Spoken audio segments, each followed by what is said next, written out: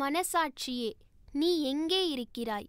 G Mamata பெண்கள் மற்றும் பெண் குழந்தைகள் மீதான பாலியல் வன்கொடுமைகளை தடுத்து நிறுத்த வலியுறுத்தி அனைத்திந்திய ஜனநாயக மாதர் சங்கம் செப்டம்பர் நான்கு அன்று தில்லி நாடாளுமன்ற வீதியில் பிரம்மாண்டமான போராட்ட பேரணியை நடத்துகிறது.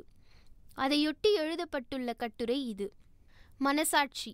இதனை கடைசி முறையாக இரண்டாயிரத்தி பன்னிரண்டு டிசம்பர் பதினாறு அன்று தில்லியில் அந்த குளிர்கால நாள் ஒன்றில்தான் நான் வெளிப்படையாக கண்டேன். தில்லியில் ஏற்பட்ட அந்த அதிர்வு நாடு முழுவதும் எதிரொலித்த போது என்னுடைய மகிழ்ச்சி அதிகரித்தது. அது உடனடியாக நாடு முழுவதும் எல்லா இடங்களிலும் தோன்றியது. ஆம் அது அனைத்து இடங்களிலும் தோன்றியிருந்தது. அப்போது நான் கண்ட மனசாட்சி இப்படி சுருங்கி போயிருக்கவில்லை. எனக்கு இது பிடிக்கவில்லை. இரண்டாயிரத்தி பதினான்குக்கு பிறகு பல விஷயங்கள் நடந்தேறி வருகின்றன.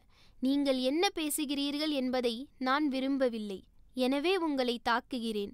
நீங்கள் என்ன சாப்பிடுகிறீர்களோ அதை நான் விரும்பவில்லை. எனவே உங்களை தாக்குகிறேன். நீங்கள் உடுத்தி கொண்டிருப்பதை நான் விரும்பவில்லை. எனவே உங்களை தாக்குகிறேன்.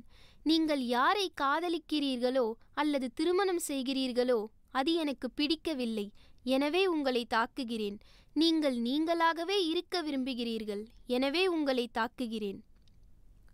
நீ எங்கே இருந்தாய்? மனசாட்சியே நான் தேடிக்கொண்டிருக்கிறேன் நீ எங்கே இருக்கிறாய்? உனாவில் பதினேழு வயது பெண் பாலியல் வல்லுறவு செய்யப்பட்டார். அப்போது நீ எங்கே இருந்தாய்? கத்துவாவில் எட்டு வயது சிறுமி பாலியல் வன்கொலை செய்யப்பட்ட வேளையில் நீ எங்கே இருந்தாய்?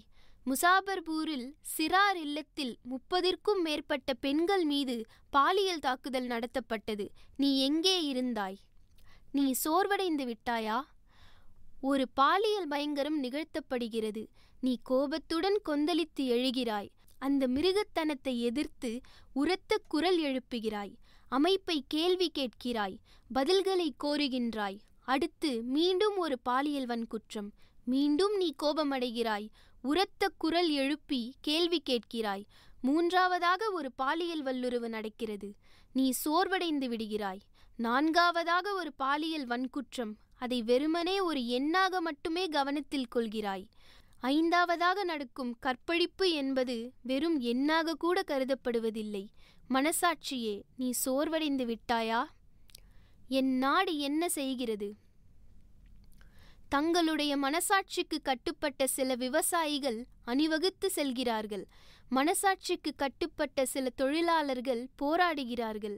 மனசாட்சிக்கு கட்டுப்பட்ட சில தலித்துகள் போராடி வருகிறார்கள். மனசாட்சிக்கு கட்டுப்பட்ட சில மாணவர்கள் கொதித்து எழுகிறார்கள். ஆனால் மனசாட்சிக்கு கட்டுப்பட்ட என் நாடு என்ன செய்கிறது? மனசாட்சியே நீ என்ன செய்து கொண்டிருக்கிறாய்? மனசாட்சியே சமூகம் என்கிற பிரமீடில் தலித்துகளுடன் பெண்களும் சேர்ந்து சுரண்டப்படுவதற்கு ஏதுவாக அடிமட்டத்தில் இருப்பதை நினைவில் கொள். அந்த பிரமீடின் கீழ் பாதி பகுதியில் தொழிலாளர்கள் விவசாய தொழிலாளர்கள் விவசாயிகள் ஆகியோர் பொருளாதார ரீதியாக சுரண்டப்படுவதற்கு ஏதுவாக